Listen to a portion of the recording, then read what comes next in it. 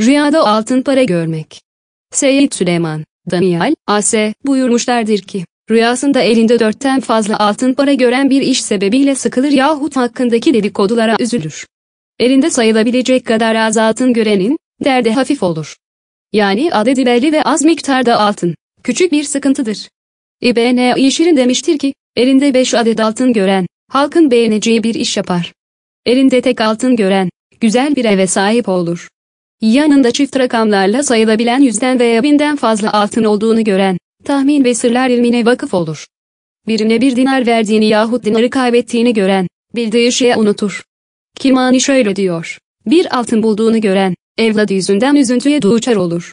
Çok sayıda altınlar bulmak, çeşitli meşakkatlere, zahmetlere uğramaya delalet eder. Cabirül Mağrubi diyor ki, rüyasında bir altın bulduğunu gören, kendisine tevdi olunan emanetten dolayı şahitlik yapar. Bazen bu rüya aynen çıkar. Yani bir altın bulduğunu gören, ertesi gün bir altın kazanır. İsmail el-Eşas demiştir ki, halis altından imal edilmiş, üzerine akışsız lira veya dinar görmek, dine ve doğru yola delalet eder. Üzeri resimli altınlar görmek, din hayatı için iyi değildir. Bir yüzünde Allah, sisi, ın ismi yazılı, diğer tarafında salip, haç, basılı bir dinarı olduğunu gören, Müslümansa, dinden çıkar, kafirse, Müslüman olur. Caferi Sadık buyurmuştur ki, beş adet altın, beş vakit namazı temsil eder. Rüyasında birine altın para verdiğini, sattığını yahut kaybettiğini veya çalındığını gören, sıkıntıdan kurtulur. Dört adede kadar altın paraya herhangi bir surette sahip olduğunu gören, makam ve itibar kazanır yahut da eline o miktarda para geçer.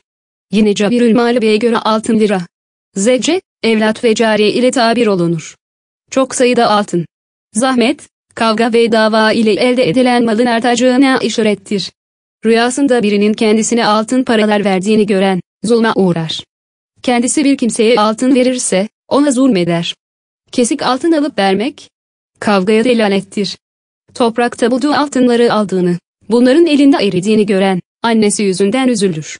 Sonra selamete çıkar. El Salimi diyor ki, altın paralarım kadınların başında asılı görmek, kadın için zinete işarettir. Delik yahut silik altınlar. Sıkıntı ve derdin azalmasına, bir rivayete göre artmasına delanettir. Ebu Saidül Vaz demiştir ki, malik olduğu altını kaybeden, namaz kılmakta kusurlu davranır. Büyük altın para, emanet, şehadet, ilim ve velayetle tabir olunur. Halidül İsfahen'e göre altın para, altından yapılmış zinete nispetle daha hafif bir üzüntüdür. Üzerinde Allah, sisi, ismi yazılı ise, hayırlıdır. Nakışlı altın nakışsızdan iyidir. Caferi Sadık, bu rüyayı şöyle tabir ediyor, tek altın, hayırlı değildir. Çift altın, faydalı ilme ve dinde ihlası işaret eder. Bazıları demişlerdir ki, altın lira, tevdi olunan emanettir.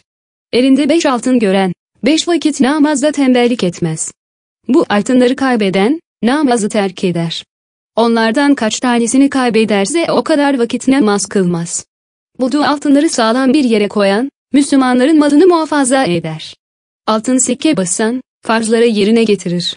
Halkın hakkını teslim eder. Altın taksim eden, Allah, sisi, ın emirlerini bildirir. Tek altın. Salih bir şahsa delanettir. Rüya sahibi dine uzaksa, emanete ihanet eder. Resimli ve nakışlı altın para gören, ailesi veya bir dostu yüzünden çirkin bir işe bulaşır. Ölünün kendisine altın verdiğini gören, zulümden kurtulur. Fakat verilen bu altını almadığını gören, zulma uğrar. Bir ölünün altın vereceğini vaat ettiğini gören, zulmü murad eder. Elindeki altınları inceledikten sonra altın olmadıklarını ve renklerinin bozulduğunu gören, hayal kırıldığına uğrar. Sonra sükunete kavuşur.